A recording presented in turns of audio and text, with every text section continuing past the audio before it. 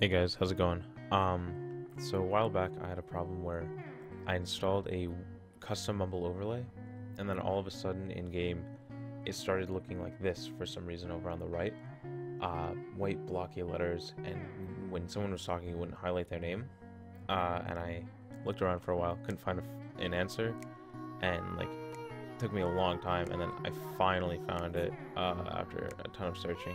And so I figured I'd make a place where it'd be really easy to, hopefully, really easy to uh, find it and uh, figure out how to fix it. So what you want to do is you want to go to your game, right click, go to properties.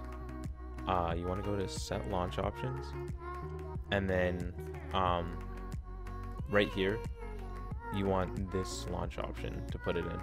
So it's minus NOD 3D9EX. Um, not sure exact exactly what it does um, and how it works, but for some reason it fixes uh, a like blocky white uh, mumble overlay uh, for some reason. Uh, some sort of process that it stops or starts or something that allows it to work. So I hope this tutorial, quick little video, uh, helped you guys. And if you got any questions about it, or if for some reason it doesn't work out, feel free to let me know in the comments. Uh, I hope you guys enjoyed it, and I'll see you guys in the next one.